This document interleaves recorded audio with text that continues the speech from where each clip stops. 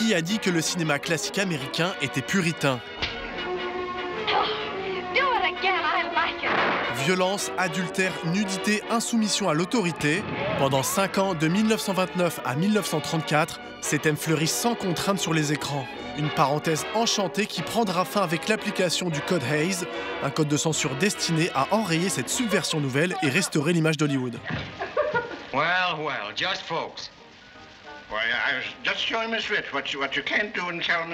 Ce qui se produit, c'est qu'avec l'avènement du parlant, il devient beaucoup plus difficile pour euh, les bureaux de censure de faire des coupures dans euh, les films. Et donc, euh, les, euh, les réalisateurs s'aperçoivent très vite qu'ils ont euh, de nouveaux moyens d'exprimer les choses. Hey, remember, boys, from now on, refrain from using any words ending in it, itch, and R. Il se trouve que l'Amérique euh, donc est en crise économique comme le monde entier à partir de 29. Il se trouve que euh, le cinéma euh, souffre de la crise quand même, même si c'est un divertissement bon marché, etc. Ce sont des, films qui nous disent beaucoup, effectivement, sur l'Amérique des années 30.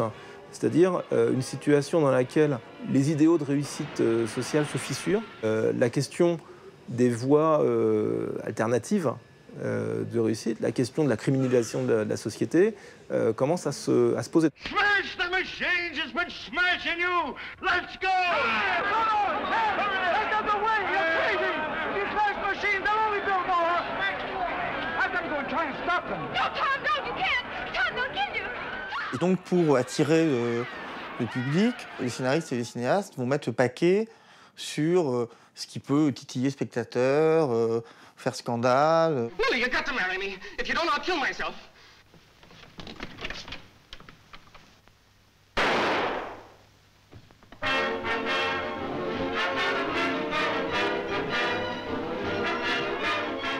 Une violence qui est, qui est montrée euh, euh, sans phare et sans, euh, sans jugement moral. Les pulsions sexuelles masculines euh, et féminines d'ailleurs, euh, montrées euh, sans aucun détour. Donc euh, les femmes trompent leurs maris, les maris trompent leurs femmes. Il peut y avoir des couples homosexuels. May I crack in? Why, certainly.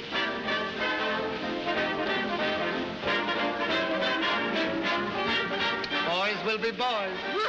Il y a plein de films en fait précodes dont on ne sait pas qu'ils sont précodes. C'est-à-dire que d'une certaine manière, euh, King Kong, c'est un film précode, ce qui justifie euh, son extraordinaire puissance symbolique sur euh, la puissance sexuelle du grand singe, euh, et notamment cette scène incroyable de déshabillage de l'héroïne dans King Kong, c'est le précode.